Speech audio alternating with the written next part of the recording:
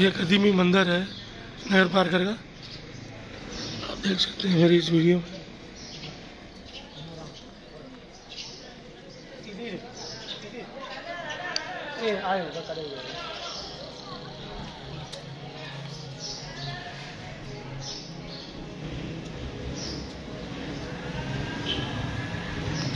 मंदिर नगर पार्कर में